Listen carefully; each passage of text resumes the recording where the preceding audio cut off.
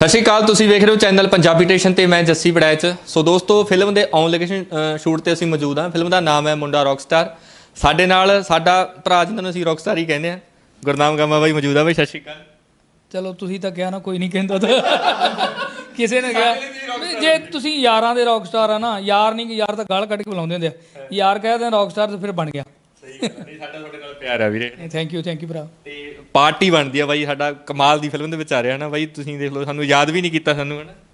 ਇਹ ਬਾਹਰ ਮੀਟ ਖਾ ਕੇ ਆਏ ਅਜੇ ਪਾਰਟੀ ਮੰਗਦੇ ਆ। ਬਾਹਰ ਪੂਰਾ ਲੱਗੀਆਂ ਹੋਈਆਂ ਸਟਾਲਾਂ ਅਜੇ ਵੀ ਮੰਗਦੇ ਹੋਏ ਆ। ਇਹ ਪੂਰੇ ਰੱਜੇ ਹੋਏ ਆ।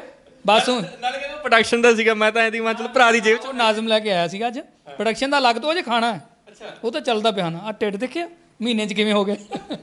ਆ ਇਹ ਕਿੱਦਾਂ ਚੱਲਦਾ ਫਿਰ ਡਾਈਟਿੰਗ ਦਾ ਕੱਲਾ ਐਕਟਰ ਤਾਂ ਜਦੋਂ ਬੰਦੇ ਨੇ ਬਣਨਾ ਹੋਵੇ ਨਾ ਬੜਾ ਖਾਣ ਪੀਣ ਦਾ ਪਰਹੇਜ਼ ਰੱਖਣਾ ਪੈਂਦਾ। ਤੁਸੀਂ ਫਿੱਟ ਹੁੰਦੇ ਹੋ ਤੁਸੀਂ ਥੋੜਾ ਜਿਹਾ ਮੋਟੇ ਹੋਈ ਜਾਂਦੇ ਹੋ ਕੀ ਗੱਲ ਫ਼ਰਕ ਹੁੰਦਾ ਨਾ ਹੀਰੋ ਤੇ ਕਰੈਕਟਰ ਰੋਲ 'ਚ ਨਾ। ਆਪਾਂ ਪਿਛਲੇ ਕਰਨੇ ਆ ਰੋਲ ਰੋਲ ਜੇ ਗਾਂ ਹੁਣ ਹੋਰ 5 ਸਾਲ ਨੂੰ ਚਾਚੇ ਦਾ ਰੋਲ ਆ ਜਾਣਾ। ਫਿਰ ਜਿਵੇਂ ਮਰਜ਼ੀ ਢਿੱਡ ਨਜ਼ਾਰੇ ਲਓ। ਹਾਂ, ਉਹ ਹੀਰੋ ਜਿਹੜੇ ਮੇਨ ਆਉਂਦੇ ਨਾ ਉਹਨਾਂ ਨੂੰ ਪ੍ਰੋਬਲਮ ਹੁੰਦੀ ਹੈ ਆ ਇਸ ਗੱਲੋਂ ਆਪਾਂ ਬਚੇ ਹੋਏ ਹਾਂ ਐ ਸਾਰੀ ਉਮਰ ਭੁੱਖੇ ਹੀ ਮਰੀ ਜਾਣੇ ਕਮਾਉਣਾ ਕਾਹਦੇ ਲਈ ਆ? ਸਹੀ ਗੱਲ ਹੈਨਾ? ਜੇ ਕਮਾ ਲਏ ਤਾਂ ਖਾਓ। ਅੱਛਾ ਵੀਰੇ ਜੇ ਮੈਂ ਤੁਸੀਂ ਖਾਣ ਪੀਣ ਨੂੰ ਖੁੱਲੇ ਸੁਭਾਅ ਦੇ ਹੋ ਤੁਸੀਂ ਹਨਾ? ਜੇ ਕਦੇ ਇਦਾਂ ਦਾ ਕੋਈ ਮਤਲਬ ਕੰਡੀਸ਼ਨ ਰੱਖੀ ਜਾਵੇ ਵੀ ਥੋੜਾ ਡਾਈਟਿੰਗ ਤੇ ਰਹਿਣਾ ਪੈਣਾ ਹੋ ਸਕਦਾ ਸੰਭਵ ਹੋ ਸਕਦਾ ਹੈ? ਨਾ ਕਰਨ ਨੂੰ ਕੀ ਨਹੀਂ ਕਰ ਸਕਦਾ ਨਾ ਆਦਮੀ ਕੁਝ ਵੀ ਕਰ ਸਕਦਾ ਦੁਨੀਆ ਦੀ ਹਰ ਚੀਜ਼ ਪਾ ਸਕਦਾ। ਤੇ ਮੈਂ ਕਰ ਲੈਣਾ ਮੈਂ 10 ਦਿਨ ਰੋਟੀ ਨਹੀਂ ਖਾਂਦਾ ਕਈ ਵਾਰੀ ਕਰ ਲੈਣਾ ਕਰੈਕਟਰ ਦੀ ਅਗਰ ਡਿਮਾਂਡ ਹੈ ਤਾਂ ਮੈਂ ਆਪਣੇ ਨੂੰ ਪਤਲਾ ਕਰਨਾ ਇਹਦੇ ਚ ਨਹੀਂ ਸੀ ਮੈਂ ਕਿਹਾ ਆਉਣ ਦੇ ਕੰਨ ਨੂੰ ਮੈਂ ਚੱਕਰਾਂ 'ਚ ਪੈਣਾ ਭੁੱਖੇ ਕੰਨ ਮਰਨਾ। ਕੀ ਬਾਤ ਹੈ ਜੀ। ਸੋ ਮੁੰਡਾ ਰੌਕਸਟਾਰ ਯੁਵਰਾਜ ਅੰਸੋਰਾ ਦੇ ਨਾਲ ਕਿਹੋ ਜਿਹਾ ਤੁਹਾਡਾ ਕਿਰਦਾਰ ਰਹਿਣ ਵਾਲਾ? ਮੇਰਾ ਵਧੀਆ ਕਿਉਂਕਿ ਮਿਊਜ਼ੀਕਲ ਫਿਲਮ ਹੈਗੀ ਹੈ ਮਿਊਜ਼ਿਕ ਦੇ ਉਹਦੀ ਹੈਗੀ ਹੈ ਇੱਕ ਸਿੰਗਰ ਨੂੰ ਲੈ ਕੇ ਉਹ ਕਹਾਣੀ ਹੈਗੀ ਹੈ ਉਹਨੂੰ ਜ਼ਿਆਦਾ ਰਿਵੀਲ ਨਹੀਂ ਅਸੀਂ ਕਰ ਸਕਦੇ ਬਾਂ ਮੇਰਾ ਵੀ ਇੱਕ ਕਰੈਕਟਰ ਹੈ ਇੱਕ ਮਿਊਜ਼ਿਕ ਕੰਪਨੀ ਵਾਲੇ ਦਾ। ਕਿਉਂਕਿ ਮੈਂ 1996 97 ਵਿੱਚ ਕੈਸਟ ਕੰਪਨੀ ਖੋਲੀ ਸੀ। ਮੈਂ ਲੁੱਟਣ ਵਾਲੇ ਹੋ ਲੁੱਟਣ ਵਾਲੇ ਹੋ ਕਿ ਕਿਦਾਂ? ਨਹੀਂ ਮੈਂ ਲੁੱਟ ਵਧੀਆ ਵਧੀਆ। ਉਦੋਂ ਮੈਂ ਲੁੱਟਿਆ ਗਿਆ ਸੀਗਾ। ਇਹਦੇ 'ਚ ਵੀ ਲਗਭਗ ਲੁੱਟਿਆ ਹੀ ਜਾਵਾਂਗਾ। ਇਸ ਤਰ੍ਹਾਂ ਦਾ ਕਰੈਕਟਰ ਹੈ ਬੜਾ ਵਧੀਆ। ਮੈਨੂੰ ਖਾਸ ਕਰਕੇ ਜਿਹੜੇ ਬੰਬੇ ਤੋਂ ਸਾਰੀ ਫਾਈਟ ਮਾਸਟਰ ਲੈ ਕੇ ਬੰਬੇ ਤੋਂ ਬਹੁਤ ਸਾਰੇ ਕਰੈਕਟਰ ਇੱਥੇ ਆਏ ਆ।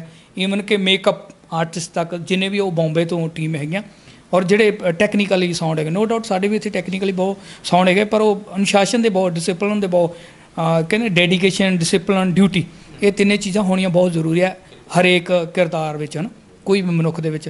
ਤੇ ਸਤਿਆਜੀਤ ਪੁਰੀ, ਜਿਹੜੇ ਇੰਡਸਟਰੀ ਦੇ ਥੰਮ ਰਹੇ ਆ ਰਾਜਪੂਰ ਸਾਹਿਬ ਤੋਂ ਲੈ ਕੇ ਦੇਵਾਨੰਦ ਸਾਹਿਬ ਹਰੇਕ ਜਿੰਨੇ ਵੀ ਹੀਰੋ ਆਏ ਆ ਨਾ ਜਤਿੰਦਰ ਸਾਹਿਬ ਉਹਨਾਂ ਦੇ ਬਚਪਨ ਦਾ ਰੋਲ ਉਹਨਾਂ ਨੇ ਕੀਤਾ। ਲੱਗਦਾ ਉਹਨਾਂ ਨੇ ਸਿਨੇਮੇ ਨੂੰ ਹਟਾਇਆ ਆਪਣੇ ਮੈਂ ਕਿਹਾ ਹੰਡਾਇਆ ਤੋਂ ਮੈਂ ਜਦੋਂ ਪਹਿਲੀ ਵਾਰੀ ਉਹਨਾਂ ਦੀ ਦੇਖੀ ਉਹਨਾਂ ਦੀ ਫਿਰ ਮੈਂ ਕੱਢ ਕੇ ਦੇਖੀ ਹੈ ਨਾ ਕਰਤਾਰ ਸਿੰਘ ਸਰਾਭਾ ਫਿਲਮ ਆਈ ਸੀ ਪੰਜਾਬੀ ਦੀ 1982 ਚ। ਉਹਦੇ 'ਚ ਕਰਤਾਰ ਸਿੰਘ ਸਰਾਭਾ ਨਾਲ ਰੋਲ ਕੀਤਾ ਸੀ ਉਹਨਾਂ ਨੇ। ਓ ਕੀ ਬਾਤ ਤੇ ਉਹਨਾਂ ਦੇ ਫਾਦਰ ਸਾਹਿਬ ਦਲਜੀਤ ਪੁਰੀ ਜੀ ਪੰਜਾਬੀ ਇੰਡਸਟਰੀ ਦੇ ਸਭ ਤੋਂ ਸੋਹਣੇ ਅਦਾਕਾਰ ਸੀ। ਦੋ ਲੱਛੀਆਂ ਗੁੱਡੀ ਉਹਨਾਂ ਦੀ ਫਿਲਮ ਸੀ ਐਜ ਹੀਰੋ। ਤਾਂ ਉਹਨਾਂ ਨਾਲ ਕੰਮ ਕਰਨ ਦਾ ਉਹ ਫੈਮਿਲੀ ਸਾਰੀ ਇਦਾਂ ਦੀ ਹੈ ਨਾ। ਉਹਨਾਂ ਦੇ ਪਨੀਤ ਈਸ਼ਰ ਉਹਨਾਂ ਦੇ ਜੀਜਾ ਜੀ ਨੇ। ਸਾਰੀ ਫੈਮਿਲੀ ਉਹਨਾਂ ਦੀ ਇਸ ਲਾਈਨ 'ਚ ਤਾਂ ਉਹਨਾਂ ਨਾਲ ਕੰਮ ਕਰਕੇ ਕੋਈ ਬਹੁਤ ਕੁਝ ਸਿੱਖਣ ਨੂੰ ਮਿਲਦਾ ਹਨ। ਬੜਾ ਕੋਈ ਕਿਉਂਕਿ ਸਾਡੇ ਡਾਇਰੈਕਟਰਾਂ ਤੇ ਉਹ ਡਾਇਰੈਕਟਰਾਂ 'ਚ ਜ਼ਮੀਨ ਅਸਮਾਨ ਦਾ ਫ਼ਰਕ ਹੈ। ਮੈਂ ਤੁਹਾਨੂੰ ਵੀ ਪੁੱਛਣਾ ਸੀ ਵੀਰੇ ਨਾ ਤੁਸੀਂ ਪੰਜਾਬੀ ਇੰਡਸਟਰੀ 'ਚ ਕਾਫੀ ਲੰਮਾ ਟਾਈਮ ਕੰਮ ਕੀਤਾ ਹਨਾ। ਤੁਹਾਨੂੰ ਕੀ ਫ਼ਰਕ ਲੱਗਿਆ ਹਨਾ ਕਿ ਸਾਡੇ ਇੱਥੇ ਐਕਸਪੀਰੀਅੰਸ ਦੀ ਘਾਟ ਆ? ਜਾਂ ਇੱਥੇ ਕਈ ਵਾਰੀ ਸਾਡੇ ਸਮਝੌਤਾ ਬਹੁਤ ਕੀਤਾ ਜਾਂਦਾ ਕਰੈਕਟਰਾਂ ਦੇ ਨਾਲ ਵੀ ਕਹਾਣੀ ਦੇ ਨਾਲ ਵੀ ਵੀ ਚੱਲ ਸਬਸਿਡੀ ਮਿਲ ਜੂ ਇਦਾਂ ਦੀ ਕਹਾਣੀ ਕਰ ਲਓ ਹਨਾ। ਨਹੀਂ ਇਹ ਇੱਥੇ ਮੈਂ ਵੇਖਿਆ ਕਿ ਉਹ ਸਮਝੌਤੇ ਵਾਲੀਆਂ ਕੋਈ ਗੱਲਾਂ ਨਹੀਂ। ਇੱਕ ਮੈਂ ਵੇਖਿਆ ਮੈਂ ਕਈ ਵਾਰੀ ਸਤਿਆਜੀਤ ਭਾਜੀ ਨਾਲ ਗੱਲ ਹੁੰਦੀ ਨੇ। ਮੈਂ ਭਾਜੀ ਤੁਹਾਨੂੰ ਮੈਂ ਰਿਲੈਕਸ ਹੀ ਦੇਖਦਾ ਸਾਈਡ ਤੇ। ਕਦੇ ਟੈਨਸ਼ਨ ਨਹੀਂ। ਉਹ ਕਿੱਡੀ ਬੈਠੇ ਸੀ ਉਹ ਕਹਿੰਦੇ ਮੈਨੂੰ ਆਰਟਿਸਟ ਮਿਲਣੇ ਚਾਹੀਦੇ ਆ। ਉਹ ਟੀਮ ਪਿੱਛੇ ਲੱਗੀ ਹੋਈ ਆ। ਜਿਹੜਾ ਜਿਹਦਾ ਜਿਹੜਾ ਕੰਮ ਹੈਗਾ ਉਹ ਕੰਮ ਦੇਖੇ। ਕਿਸੇ ਨੇ ਆਰਟਿਸਟ ਪ੍ਰੋਵਾਈਡ ਕਰਾਉਣੇ ਆ ਕਿਸੇ ਨੇ ਕਾਸਟਿਊਮ ਕਰਾਉਣੇ ਫਿਲਮ 'ਚ ਸਾਰੇ ਸੈੱਟ ਤੇ ਹੁੰਦਾ। ਤਾਂ ਉਹ ਕਹਿੰਦਾ ਮੈਨੂੰ ਕੋਈ ਟੈਨਸ਼ਨ ਨਹੀਂ, ਬਸ ਇੱਥੇ ਆਰਟਿਸਟ ਸਾਹਮਣੇ ਖੜੇ ਹੋਣੇ ਚਾਹੀਦੇ। ਉਹ ਆਪਣੇ ਸ਼ਾਟ ਤੇ ਧਿਆਨ ਦੇ ਰਿਹਾ। ਤਾਂ ਹੀ ਫਿਲਮ ਵਧੀਆ। ਇੱਕ ਜੇ ਡਾਇਰੈਕਟਰ ਵਿਚਾਰਾ ਹੁੰਦਾ, ਇੱਥੇ ਪੰਜਾਬੀ 'ਚ ਕੀ ਹੁੰਦਾ, ਉਹਨੂੰ ਸਾਰੀਆਂ ਬਰਡਨ ਚੱਲਣੀਆਂ ਪੈਂਦੀਆਂ। ਉਹ ਆਰਟਿਸਟ ਨੂੰ ਵੀ ਫੋਨ ਕਰ ਰਿਹਾ ਮੇਕਅਪ ਆਰਟਿਸਟ ਨੂੰ ਵੀ ਕਰ ਰਿਹਾ, ਉਹ ਵੈਂਟੀ ਵੈਨ ਨੂੰ ਵੀ ਕਰ ਰਿਹਾ। ਤੇ ਉਹ ਫਿਲਮ ਤੇ ਕਿਵੇਂ ਧਿਆਨ ਦਊਗਾ? ਆ ਜਿਹੜਾ ਡਾਇਰੈਕਟਰ ਆ, ਉਹਨੂੰ ਬਿਲਕੁਲ ਫ੍ਰੀ ਮਾਈਂਡ ਰਹਿਣਾ ਚਾਹੀਦਾ ਸਿਰਫ ਉਹਦੇ ਤੇ। ਤਾਂ ਹੀ ਫਿਲਮ ਵਧੀਆ ਨਿਕਲ ਕੇ ਆ ਸਕਦੀ। ਤੇ ਮੈਨੂੰ ਐਂ ਲੱਗਦਾ ਕਿ ਟੈਕਨੀਕਲੀ ਬਹੁਤ ਸਾਊਂਡ ਬਣ ਰਹੀ ਹੈ ਫਿਲਮ ਬਹੁਤ। ਕਿਉਂਕਿ ਇਹ ਪਹਿਲਾਂ ਹਿੰਦੀ ਸੀਗੀ। ਅੱਛਾ। ਹਿੰਦੀ ਚ ਲਿ- ਹਿੰਦੀ ਹਾਂ। ਪੰਜਾਬੀ 'ਚ ਲੈ ਕੇ ਹਿੰਦੀ ਚ ਲਿਖੀ ਹੋਈ ਸੀ ਫਿਰ ਉਹਨਾਂ ਨੂੰ ਭਾਜੀ ਉਹਨਾਂ ਨੇ ਪੰਜਾਬੀ ਚ ਕੀਤਾ ਨਾਲ ਨਵਦੀਪ ਮੌਦਗਿਲ ਨੇ। ਉਹਨਾਂ ਨੇ ਇਕੱਠਿਆਂ ਫਿਰ ਪੰਜਾਬੀ ਚ ਉਹਨੂੰ ਕਨਵਰਟ ਕੀਤਾ ਔਰ ਪੰਜਾਬੀ ਚ ਬਣਾਈ ਆ। ਉਹ ਟੱਚ ਸ਼ਹਿਰੀ ਹੈ ਫਿਲਮ ਦਾ ਵੀ ਜਿਹੜਾ ਪਿੰਡਾਂ 'ਚ ਅਸੀਂ ਕਲਚਰ ਦੇਖਦੇ ਆ ਰਹੇ ਹਾਂ ਆਮ ਤੌਰ ਤੇ ਸਾਡੀਆਂ ਕਲਚਰ ਨੂੰ ਲੈ ਕੇ ਪਰ ਇਹ ਇਹ ਸ਼ਹਿਰੀ ਟੱਚ ਆ ਸਾਰਾ। ਇਹ ਇਹ ਜਿਹੜੀ ਬੋਲੀ ਹੈ ਉਹ ਵੀ ਆਰਟਿਸਟਾਂ ਦੀ ਜਿਹੜੀ ਰੱਖੀ ਹੋਈ ਸ਼ਹਿਰੀ ਟੱਚ ਰੱਖੀ ਹੋਈ ਆ। ਵੀ ਉਹ ਸਾਡੇ ਵਰਗੇ ਦੇਸੀ ਵਾੜੇ ਤਾਂ ਹੋਇਆ ਪਰ ਕੋਸ਼ਿਸ਼ ਕਰਦੇ ਹਾਂ ਕਿ ਸ਼ਹਿਰੀ ਟੱਚ ਬੋਲੀਏ। ਉਹ ਫਿਲਮ ਦਾ ਬੇਸ ਇਸ ਤਰ੍ਹਾਂ ਦਾ ਜੀ। ਇਸ ਫਿਲਮ ਦੇ ਵਿੱਚ ਤੁਹਾਡੇ ਤੋਂ ਇਲਾਵਾ ਹੋਰ ਕਿਹੜੇ ਕਿਹੜੇ ਆਪਾਂ ਨੂੰ ਨਾ ਕੈਰੈਕਟਰ ਮਤਲਬ ਵੇਖਣ ਵੇਖਣ ਨੂੰ ਮਿਲਣਗੇ ਫਿਲਮ 'ਚ? ਯੁਵਰਾਜ ਹੰਸ ਨੇ ਲੀਡ ਤੇ ਅਦਿੱਤੀ ਆਰਿਆ ਹੈ, ਉਹ ਤੇ ਮੁਹੰਮਦ ਨਾਜ਼ਮ ਨੈਗੇਟਿਵ ਰੋਲ ਕਰ ਰਿਹਾ ਹਨ? ਗੁਰਚੇਤ ਚਿੱਤਰਕਾਰ ਹੈ ਰਾਜਵਿੰਦਰ ਸਮਰਾਲਾ ਯਸ਼ ਗੇਰਾ ਬੰਬੇ ਤੋਂ ਸਪੈਸ਼ਲ ਆਏ ਨੇ ਪ੍ਰੀਤਮ ਆਏ ਨੇ ਹਨਾ? ਬਹੁਤ ਸਾਰੇ ਕਰੈਕਟਰ ਇਹੋ ਜਿਹੇ ਨੇ। ਸਤਿਆਜੀਤ ਪੁਰੀ ਭਾਜੀ ਖੁਦ ਕਰੈਕਟਰ ਕਰ ਰਹੇ ਨੇ। ਗੁੱਡੂ ਭਾਜੀ ਜਿਹੜੇ ਮੇਰ ਮਿੱਤਰ ਹੋਰਾਂ ਨਾਲ ਉਹ ਵੀ ਇਹਦੇ 'ਚ ਕਰੈਕਟਰ ਕਰ ਰਹੇ ਨੇ। ਗੋਪੀ ਸਿੱਧੂ ਖੁਦ ਕਰੈਕਟਰ ਪਹਿਲੀ ਵਾਰੀ ਆ ਰਾਈਟਰ ਹੈ ਨਾਲ ਕਰੈਕਟਰ ਵੀ ਕਰ ਰਿਹਾ ਯੁਵਰਾਜ ਹੰਸ ਦੀ ਇੱਕ ਟੀਮ ਦੇ ਨਾਲ ਆ। ਬਹੁਤ ਸਾਰੇ ਮੇਰੇ ਮਿੱਤਰ ਅ, ਕਿਉਂਕਿ ਮੈਨੂੰ ਇਹ ਆ ਵੀ ਜਿੰਨੇ ਵੀ ਫਿਲਮ ਵਿੱਚ ਆ ਰਹੇ ਉਹ ਮੇਰੀ ਜਾਣ ਪਛਾਣ ਦੇ ਸਾਰੇ। ਆ ਮੇਰੇ ਸੱਜੇ ਹੱਥ ਸਾਰੀ ਟੀਮ ਬੈਠੀ ਹੋਈ ਆ। ਹੈਪੀ ਬਕੌਲੀਆ ਕੀ ਬਾਤ ਹੈ ਬਾਈ ਸਤਿ ਸ਼੍ਰੀ ਅਕਾਲ ਥੀਏਟਰ ਪਾਸ ਹੈਗਾ ਉੱਥੋਂ ਪੰਜਾਬੀ ਯੂਨੀਵਰਸਿਟੀ ਤੋਂ। ਤੇ ਥੀਏਟਰ 'ਚ ਹੀ ਗੁੰਦਿਆ ਪਿਆ ਨਾ ਵਾਲ ਝੜ ਗਏ ਮੁੰਡੇ ਦੇ। ਥੀਏਟਰ ਕਰ ਕਰਕੇ। ਤੇ ਬਹੁਤ ਘੈਂਟ ਆ ਉਹ ਐ ਜੇ ਨੇਚਰ ਐ ਜੇ ਮੈਨ ਮਤਲਬ ਜੇ ਸੈੱਟ ਤੇ ਗਿਆ ਤਾਂ ਉਹ ਮਤਲਬ ਐ ਵੀ ਸਪੋਰਟਮੈਨ ਵੀ ਦਿਸੂਗਾ ਤੇ ਐਕਟਰ ਵੀ ਦਿਸੂਗਾ। ਯਸ਼ ਗੇਰਾ ਸਾਹਿਬ ਨਾ। ਸਤਿ ਸ਼੍ਰੀ ਅਕਾਲ ਸਤਿ ਸ਼੍ਰੀ ਅਕਾਲ ਪਹਿਲੇ ਤੁਸੀਂ ਬੰਬੇ ਤੋਂ ਆਏ ਹੋ ਨਾ ਤੇ ਸੀਰੀਅਲ ਦੇ ਵਿੱਚ ਅਸੀਂ ਕਾਫੀ ਤੁਹਾਨੂੰ ਵੇਖਿਆ ਸੀ। ਕੋਈ ਨਹੀਂ ਬੈਜੋ ਬੈਜੋ ਸਾਈਡ ਤੇ ਬੈਜੋ ਸੋ ਵੀਰੇ ਕਿੱਦਾਂ ਸਬਬ ਬਣਿਆ ਨਾ ਪਹਿਲੀ ਕਿ ਪੰਜਾਬ ਆਏ ਹੋ ਪੰਜਾਬੀ ਫਿਲਮ ਦੇ ਵਿੱਚ? ਦੇਖੋ ਜੀ ਮੈਂ ਜ- ਤੁਹਾਨੂੰ ਪਤਾ ਹੈ ਦਰਸ਼ਕਾਂ ਨੇ ਮੈਨੂੰ ਇਹ ਰਿਸ਼ਤਾ ਕਿਆ ਕਹਿਲਾਤਾ ਹੈ ਸੀਰੀਅਲ ਤੇ ਵੇਖਿਆ ਹੈ। ਹੋਰ ਵੀ ਸੀਰੀਅਲ ਕੀਤੇ ਨੇ ਮੈਂ ਪਰ ਲੋਕੀ ਮੈਨੂੰ ਸ਼ੌਰਿਆ ਦੇ ਕਿਰਦਾਰ ਕਿਰਦਾਰ ਜੋ ਮੈਂ ਕੀਤਾ ਸੀ ਬਹੁਤ ਪਸੰਦ ਕੀਤਾ। ਔਰ ਇਹ ਮੇਰਾ ਪਹਿਲਾ ਪ੍ਰੋਜੈਕਟ ਹੈ ਪੰਜਾਬ। ਪੰਜਾਬੀ ਫਿਲਮ ਇਹ ਮੈਂ ਕੰਮ ਕੋਲੋਂ ਨਹੀਂ ਇਹ ਕਹਿੰਦੇ ਨੇ ਰੱਬ ਨੇ ਲਿਖਿਆ ਹੋਇਆ ਕੰਮ। ਰੱਬ ਮੈਨੂੰ ਇੱਥੇ ਲਾਇਆ। ਔਰ ਬਹੁਤ ਵਧੀਆ ਫਿਲਮ ਮਿਊਜ਼ੀਕਲ ਫਿਲਮ ਹੈ। ਔਰ ਯਵਰਾਜ ਪਾਜੀ ਨਾਲ ਕਰ ਰਹੇ ਹਾਂ ਜੈਸੇ ਗਾਉਂ ਪਾਜੀ ਨੇ ਕਿਹਾ। ਔਰ ਮੈਨੂੰ ਆ ਕੇ ਇੱਥੇ ਦੋ ਨਿੱਕੇ ਵੀਰ ਮਿਲੇ ਨੇ ਹੈਪੀ ਤੇ ਸੈਂਡੀ ਫਰਸਟ ਡੇ ਤੋਂ ਮੇਰੇ ਨਾਲ ਨੇ। ਮੈਨੂੰ ਬਿਲਕੁਲ ਕੰਫਰਟੇਬਲ ਫੀਲ ਕਰਾਇਆ। ਇਵੇਂ ਲੱਗਿਆ ਨਹੀਂ ਕਿ ਮੈਂ ਨया ਆਇਆ ਇੱਥੇ। ਔਰ ਬਹੁਤ ਚੰਗਾ ਲੱਗ ਰਿਹਾ ਹੈ ਕਿਉਂਕਿ ਟੀਵੀ ਕਰਕੇ ਮੈਂ ਫਿਲਮਾਂ ਪਿੱਛੇ ਵੀ ਕੀਤੀਆਂ ਨੇ ਕੁਝ ਦੇ ਟ੍ਰੇਲਰ ਲਾਂਚ ਹੋ ਗਏ ਨੇ। ਚੇਂਜ ਲੱਗਿਆ ਹੈ ਨਾ ਟੀਵੀ ਕਰਨ ਤੋਂ ਬਾਅਦ ਸਿਨੇਮੇ ਕਰਨ ਦੇ ਵਿੱਚ ਤੁਹਾਨੂੰ ਵੀ ਤੁਹਾਨੂੰ ਚੇਂਜ ਲੱਗਿਆ ਹੋਵੇ ਤੁਹਾਨੂੰ ਆ ਚੇਂਜ ਟੈਕਨੀਕਲੀ ਥੋੜਾ ਚੇਂਜ ਰਹਿੰਦਾ ਹੈ। ਜਿਵੇਂ ਤੁਸੀਂ ਜਾਣਦੇ ਹੋ ਐਪੀਸੋਡ ਜਦੋਂ ਸ਼ੂਟ ਕਰਨੇ ਆ ਤੋ ਸੀਨਸ ਹੁੰਦੇ ਨੇ 10 15 12 ਸੀਨਸ ਉਹ ਬਹੁਤ ਫਾਸਟ ਕੰਮ ਹੁੰਦਾ ਹੈ ਔਰ ਰੈਗੂਲਰ ਆਂਦਾ ਹੈ। ਔਰ ਫਿਲਮਾਂ ਜੋ ਹੁੰਦੀਆਂ ਨੇ ਇੱਕ ਵਾਰੀ ਬਣਦੀਆਂ ਨੇ ਤੋ ਆਬਵੀਅਸਲੀ ਟੈਕਨੀਕਲੀ ਬਹੁਤ ਬਾਰੀਕੀ ਨਾਲ ਕੰਮ ਹੁੰਦਾ ਹੈ। ਇਹ ਗੱਲ ਨਹੀਂ ਕਿ ਟੀਵੀ ਦਾ ਕੰਮ ਬਾਰੀਕੀ ਨਾਲ ਨਹੀਂ ਹੁੰਦਾ ਬਟ ਉੱਥੇ ਸਪੀਡ ਅਲੱਗ ਹੁੰਦੀ ਹੈ। ਬਟ ਮੂਵੀ ਦਾ ਟੋਟਲੀ ਡਿਫਰੈਂਟ ਹੈ ਵਧੀਆ ਐਕਸਪੀਰੀਅੰਸ ਹੈ ਔਰ ਸਾਡੇ ਡਾਇਰੈਕਟਰ ਸਾਹਿਬ ਸਤਿਜੀਤ ਸਰ ਉਹਨਾਂ ਦੇ ਨਾਲ ਕੰਮ ਕਰਕੇ ਵੀ ਚੰਗਾ ਲੱਗ ਰਿਹਾ ਹੈ। ਕੁੱਲ ਮਿਲਾ ਕੇ ਬਹੁਤ ਵਧੀਆ ਐਕਸਪੀਰੀਅੰਸ ਹੈ ਮੈਨੂੰ ਮਜ਼ਾ ਆ ਰਿਹਾ। ਸਭ ਤੋਂ ਵੱਡੀ ਗੱਲ ਹੈ ਪੰਜਾਬੀ ਫਿਲਮ ਮੇਰਾ ਫਰਸਟ ਪ੍ਰੋਜੈਕਟ ਹੈ ਔਰ ਮੇਰੀ ਚਾਹ ਵੀ ਸੀ। ਅੱਛਾ ਭਾਈ ਤੁਸੀਂ ਜਿੱਦਾਂ ਨਾ ਕਿ ਤੁਸੀਂ ਜ਼ਿਆਦਾ ਟਾਈਮ ਤੁਸੀਂ ਦਿੱਲੀ ਰਹਿੰਦੇ ਹੋ ਬੰਬੇ ਰਹਿੰਦੇ ਹੋ ਤੇ ਪੰਜਾਬੀ ਬੋਲਣ 'ਚ ਤਾਂ ਨਹੀਂ ਕੋਈ ਤੁਹਾਨੂੰ ਮਤਲਬ ਆਈ ਇਦਾਂ ਮੈਂ ਤੁਹਾਨੂੰ ਦੱਸਾਂ ਮੈਂ 2009 ਤੇ ਮੁੰਬਈ ਗਿਆ ਸੀਗਾ। ਮੈਂ ਦਿੱਲੀ ਤੋਂ ਹਾਂ। ਜਦੋਂ ਮੈਂ ਮੁੰਬਈ ਗਿਆ, ਮੇਰਾ ਲੱਕ ਸੀਗਾ ਕਿ ਮੁੰਬਈ ਜਾ ਕੇ ਮੈਨੂੰ ਪਹਿਲਾ ਸੀਰੀਅਲ ਜੋ ਮਿਲਿਆ ਉਹ ਪਾਲਮਪੁਰ ਐਕਸਪ੍ਰੈਸ ਸੀਗਾ, ਸੋਨੀ ਤੇ ਆਉਂਦਾ ਸੀ। ਮੇਰਾ ਕੈਰੈਕਟਰ ਪਾਜੀ ਨਾ ਸੀਗਾ, ਮਤਲਬ ਪੰਜਾਬੀ ਸੀਗਾ। ਔਰ ਦਿੱਲੀ, ਤੁਸੀਂ ਜਾਣਦੇ ਹੋ, ਜੋ ਫਿਲਮ ਵਿੱਚ ਬੋਲੀ ਆ, ਦਿੱਲੀ ਤੇ, ਦਿੱਲੀ 'ਚ ਵੀ ਇਸ ਤਰ੍ਹਾਂ ਦੀ ਬੋਲੀ ਬੋਲੀ ਜਾਂਦੀ ਹੈ। ਤੋਂ ਮੈਂ ਜਦੋਂ ਉੱਥੇ ਗਿਆ, ਜਦੋਂ ਮੈਂ ਹਿੰਦੀ ਵੀ, ਜਦੋਂ ਇੰਗਲਿਸ਼ ਵੀ ਬੋਲਦਾ ਸੀ, ਲੋਕੀ ਕਹਿੰਦੇ ਸੀ, ਤੇਰੀ ਇੰਗਲਿਸ਼ ਵੀ ਜੋ ਹੈ ਨਾ, ਪੰਜਾਬੀ ਲੱਗਦੀ ਆ। तो ਮੈਨੂੰ ਬਹੁਤ ਟਾਈਮ ਲੱਗਿਆ। ਮਤਲਬ, ਪਰ ਔਰ ਔਰ, ਵਜ਼ਨ, ਔਰ ਸਭ ਤੋਂ ਵੱਡੀ ਗੱਲ ਹੈ, ਰੱਬ ਦੀ ਮਿਹਰ। ਮੈਂ ਕਹਿੰਨਾ ਰੱਬ ਦੀ ਮਿਹਰ ਹੈ, ਜੋ ਦਿੰਦਾ, ਉਹੀ ਦਿੰਦਾ। ਮੈਨੂੰ ਪਹਿਲਾ ਸ਼ੋਅ ਮਿਲਿਆ।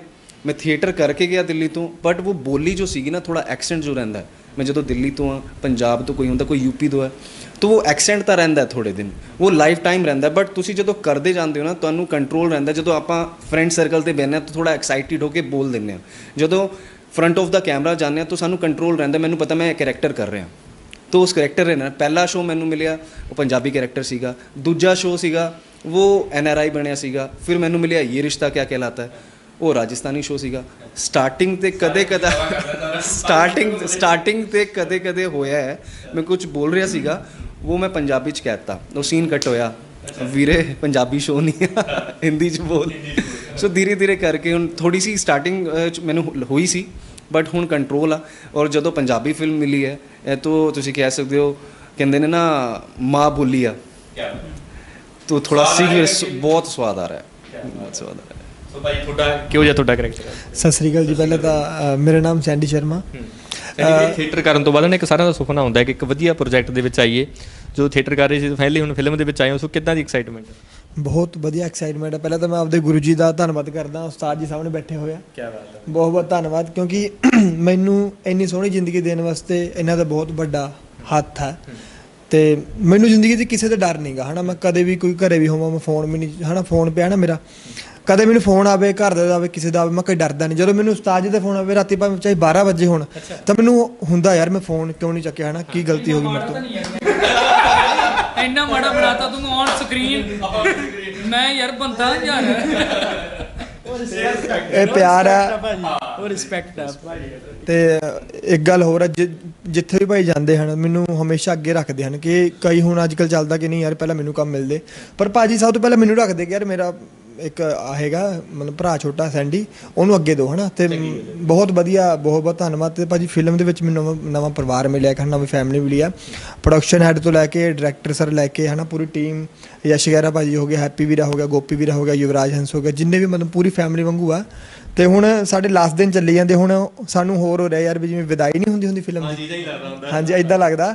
ਤੇ ਹੁਣ ਜਾਣ ਲੱਗੇ ਹੁੰਦਾ ਯਾਰ ਵੀ ਦੋ ਦਿਨ ਰਹਿ ਗਏ ਇੱਕ ਦਿਨ ਰਹਿ ਗਿਆ ਹਨਾ ਬਹੁਤ ਐਕਸਾਈਟਡ ਆ ਵੀ ਕਦੋਂ ਆਵੇਗੀ। ਕਿਉਂਕਿ ਯੂਨੀਵਰਸਿਟੀ ਹੋਸਟਲ 'ਚ ਰਹਿੰਦੇ ਵੀ ਰੋਟੀ ਉੱਥੇ ਸੁੱਕੀ ਮਿਲਦੀ ਹੈ। ਆਹ ਰੌਲਾ ਹੈ। ਹੋਰ ਪਰਿਵਾਰ ਦੀ ਤਾਂ ਯੂਨੀਵਰਸਿਟੀ ਪਤਾ ਨਹੀਂ 10000 ਜਵਾਕ ਪੜਦਾ ਹੋਣਾ। ਪਰਿਵਾਰ ਦੀ ਇਹਨਾਂ ਨੂੰ ਕੋਈ ਫਿਕਰ ਨਹੀਂ ਆ, ਖਾਸ ਕਰਕੇ। ਜਦ ਉਹ ਪਈ ਆ ਕਚੋਰੀ। ਜਿੰਨੀਆਂ ਆ ਜਾਣ, ਖਾਲੀ ਨਹੀਂ ਜਾਂਦਾ ਕੋਈ। ਚਿਕਨ ਚੁਗਣਾ ਤਿੰਨ ਵਾਰੀ 2 ਘੰਟੇ ਚ ਖਾ ਬੈਠਾ। ਆਹਾ ਫਿਕਰ ਪਿਆ ਲਾਲੇ ਆਹ ਜੀ ਆਹ ਗੱਲ ਬਿਮਾਰ ਬੁੜ ਬਹੁਤ ਹੈ। ਹੁਣ ਕਹਿੰਦਾ ਸਿਹਤ ਬਣ ਗਈ ਜਦੋਂ ਹੋਸਟਲ 'ਚ ਸੀਗਾ ਬੜਾ ਮਾੜਾ ਸੀਗਾ। ਇੱਥੇ ਆ ਕੇ ਨਾ ਫੁੱਲ ਸਿਹਤ ਬਣ ਗਈ। ਦੇਖੋ ਢਿੱਡ ਆ ਗਿਆ ਮੁੰਡੇ ਦਾ। ਨਹੀਂ ਢਿੱਡ ਤਾਂ ਵੱਧ ਗਿਆ ਅੱਗੇ ਨਾਲੋਂ ਮੇਰਾ। ਕਿਉਂਕਿ ਇੱਥੇ ਖਾਣਾ ਹੀ ਬਹੁਤ ਪਿਆਰ ਨਾਲ ਬਣਾਉਂਦੇ ਤੇ ਖਾਣਾ ਵੀ ਪੈਂਦਾ ਪਿਆਰ ਨਾਲ ਹੈਨਾ? ਖਾਣਾ ਵੀ ਪੈਂਦਾ ਪਿਆਰ ਨਾਲ। ਵਾਰ-ਵਾਰ ਨਹੀਂ ਕਹਿੰਦੇ ਉਹ ਖਾਓ। ਖਾਓ ਜ਼ਰੂਰ। ਨਹੀਂ ਜਾਂਦਾ ਦੋ ਤਿੰਨ ਵਾਰੀ ਮਨਾ ਵੀ ਕਰ ਸਕਦਾ ਵੀ ਨਹੀਂ ਬਾਈ ਯਾਰ ਬਸ ਠੀਕ ਹੈ। ਨਹੀਂ ਕਿਵੇਂ ਕਹਿੰਦਾ ਹੈ? ਐਸੇ ਹੀ ਹੱਥ ਫੜ ਕੇ ਰੋਟੀ ਚੁਗਦਾ ਕਹਿੰਦਾ ਪਾਜੀ ਰਹਿਣ ਦਿਓ ਨਾ ਪਾਜੀ ਰਹਿਣ ਦਿਓ ਨਾ ਪਾਜੀ ਰਹਿਣ ਦਿਓ ਤੁਸੀਂ ਤੁਸੀਂ ਸੈੱਟ ਤੇ ਰਿਹਾ ਜੇ ਨਾ ਇਹਦੀ ਥਾਲੀ ਵੇਖਿਆ ਜੇ ਉਹ ਮੈਸ ਵਾਲੇ ਨਾ ਉਹ ਵੀ ਭਾਜੀ ਉਹ ਹੁਣ ਤਾਂ ਬੇ ਚੱਲਣ ਜਾਂਦਾ। ਮਤਲਬ ਐ ਹੋ ਗਿਆ ਇੰਨੀ ਭਰੀ ਹੁੰਦੀ। ਅੱਛਾ। ਸਬਰ ਹੀ ਨਹੀਂ ਹੈਗਾ। ਤੁਸੀਂ ਬਾਈ ਕਿੰਨੇ ਬੰਦੇ ਲੈ ਕੇ ਜਾਂਦੇ ਕੱਲਾ। ਇਹ ਕਹਿ ਕੇ ਆਉਂਦਾ ਵੀ ਪੰਜ ਜਣੇ ਤੋਂ ਪਾਸੇ ਹੋ ਕੇ ਬਹਿ ਜਾਂਦਾ। ਸੋ ਕਹਿ ਸਕਦੇ ਬਹੁਤ ਕਮਾਲ ਦੀ ਫਿਲਮ ਤੇ ਰੌਣਕ ਮੇਲਾ ਤੁਸੀਂ ਸਾਡਾ ਵੇਖ ਹੀ ਲਿਆ ਮੁੰਡਾ ਰੌਕਸਟਾਰ। ਸ਼ੂਟ ਚੱਲ ਰਿਹਾ ਤੇ ਸ਼ੂਟ ਤੇ ਮੈਨੂੰ ਤਾਂ ਬਹੁਤ ਚੰਗੀ ਫੀਲਿੰਗ ਜੀ ਆ ਰਹੀ ਹੈ ਨਾ ਕਿ ਜਦੋਂ ਕੋਈ ਚੀਜ਼ ਵਧੀਆ ਬਣਦੀ ਹੁੰਦੀ ਆ, ਆਪਾਂ ਨੂੰ ਉਦੋਂ ਫੀਲ ਜਾਂਦਾ ਵੀ ਯਾਰ ਚੀਜ਼ ਬਹੁਤ ਘੈਂਟ ਬਣ ਰਹੀ ਹੈ। ਵਾਕਈ ਚੀਜ਼ ਬਹੁਤ ਘੈਂਟ ਬਣ ਰਹੀ ਹੈ ਤੇ